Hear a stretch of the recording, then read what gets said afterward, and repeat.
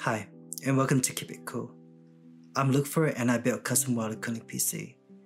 In this episode, I'm gonna show you something different, something you may not have seen before. Maybe you're a beginner and you don't know where to start. Or maybe you're advanced and you're looking at different ways to bend tubing. So in this episode, I will be building in the NZXT H9 flow, and I'll be using the Corsair HydroLink system. I'm gonna turn this case from this into this and then this. Join me today, and we're gonna keep it cool. So this case is my all-time favorite. I'm doing three times 120 millimeter fans on the bottom, three times 120 millimeter fans on the front, three times 120 millimeter fans on top, and one time 120 millimeter fans in the back.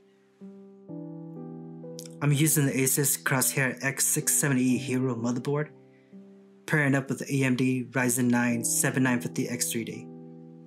GPU RTX 4090, RAMs Corsair Dominator Titanium, SSD I'm using M.2 Gen 5 for a terabyte,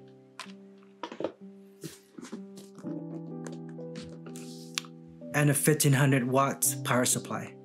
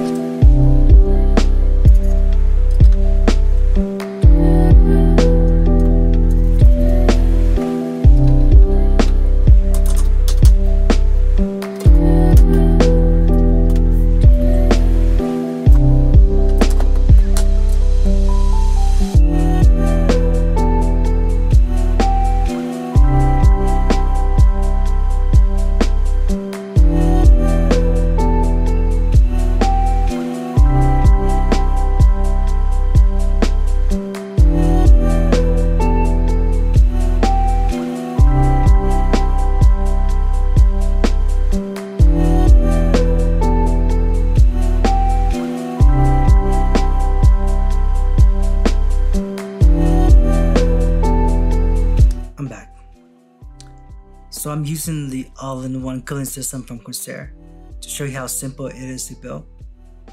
But if you want a little more customization and a little more cooling, stay tuned because we're gonna keep it cool.